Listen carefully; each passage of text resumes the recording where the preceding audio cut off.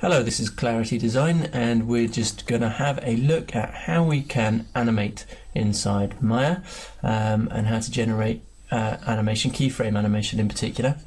Um, we're going to be using the timeline down here, so we'll have a quick look at that and we'll have a quick look at the uh, channel box here um, and we will go through a basic animation generation. Okay, so first of all let's have a look at the timeline. At the moment you can see I've got 24 frames showing and when I click playback it's going to play those 24 then it will start back from the beginning.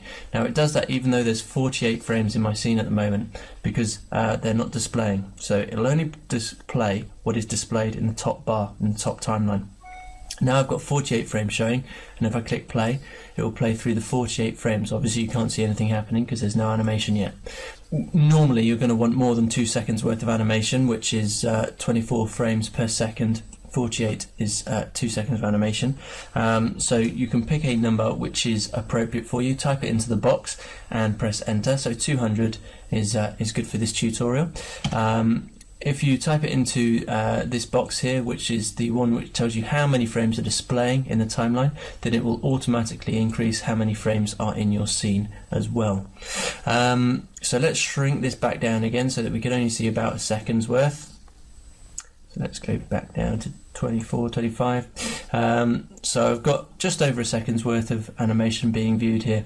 Um, I've also just inside my uh, options I've got to make sure that I'm playing back play speed here is real time 24 frames per second so that I get a good idea about the animation speed and control that I'm getting.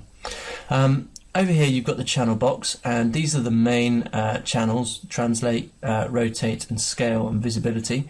And when you press S which is a shortcut for keyframe on the keyboard it will uh, key in all of these. But that's not all the channels you can keyframe. In fact um, you can keyframe pretty much anything um, if you right click on an object you can go up if you see key selected um, then you can key it, okay, or key all. So in the same way, if I'm an attribute editor and I wanted to change the color of an object, I can go across to the Lambert, which is what's applied at the moment.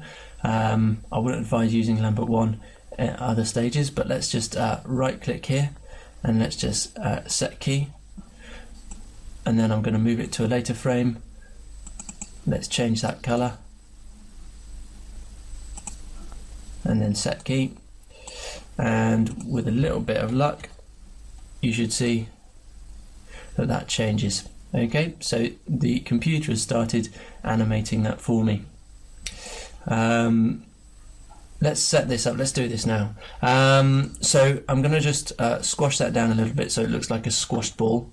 Um, I'm gonna move that down to here. Um, so it's uh, hitting just about hitting the surface. We'll use that as a ground plane. Um, so just position it there. So I'm going to set first position by pressing S and then I'm going to move to a later frame. Uh, this is where I want the um, animation to be back where it was to begin with and I'm going to press S again so um, between the two nothing's happened so uh, nothing's happened but I've got two keyframes here and that's because I'm going to do a, a cyclical animation so it's going to get um, it's going to go somewhere and then it's going to come back to the starting point. So it's easier to put the keyframe in at the end and then do the deformation in the middle. So then uh, move to this, uh, the middle frame or the frame where I want to change it. Um, move it up, change that scale, and again I can press S.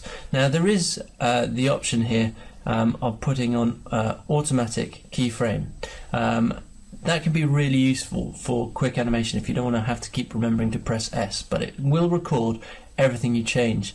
Um, and sometimes that generates data and, and, key points that you didn't expect or you don't want. So I find it easier to start off without using that, but feel free to have a play around. So here's my basic animation. Okay. So uh, we've got a keyframe up to the top bouncing back down.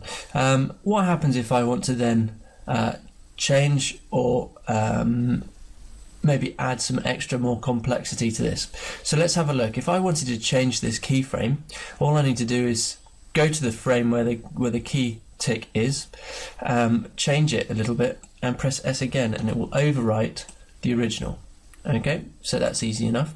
If I want to delete a keyframe, uh, you can right click on the timeline where the tick is and you can delete it. Now, if you've got a few frames in an area, if you press shift and click on the timeline and drag out, and then right click, you can delete and it will delete all the keyframes in that area.